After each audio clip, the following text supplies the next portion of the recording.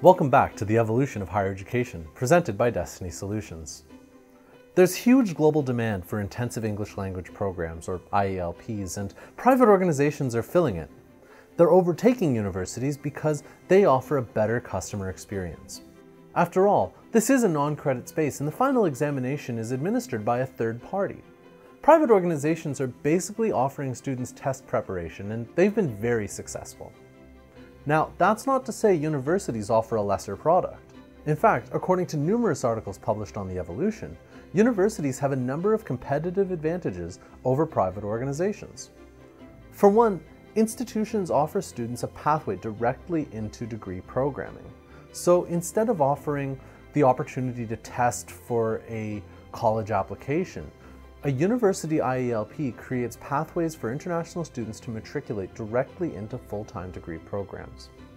Secondly, colleges and universities are able to provide a level of language instruction excellence that private providers simply aren't able to match. After all, these courses are being developed and delivered by high quality faculty, and they have to stand up to the test of institutional rigor. So why do private organizations have an edge in this space? Well, according to the director of a major university-run IELP, the biggest challenges facing the IELPs run by colleges and universities is that they're managed the same way as every other program offered by the institution. The problem here is that IELP students have a different set of needs and expectations that vary significantly from those of traditional or even non-traditional students.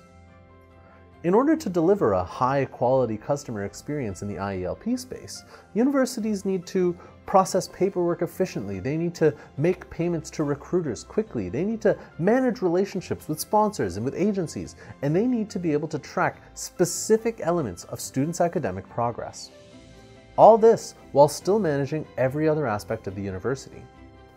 In this way, private organizations actually have a significant edge because they can dedicate 100% of their time, their energy, and their resources to making sure they're delivering a customer experience tailored to the IELP space.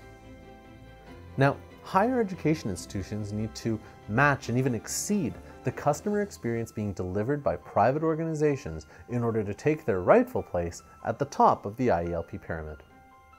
Thanks for watching this edition of the Evolution of Higher Education. We'll see you next time.